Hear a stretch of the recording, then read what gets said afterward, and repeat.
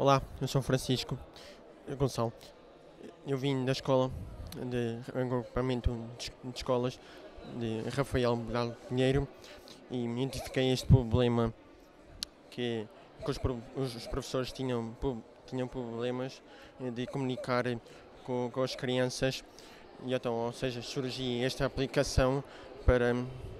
para ajudar as crianças e também os professores e esta aplicação chama-se Movimento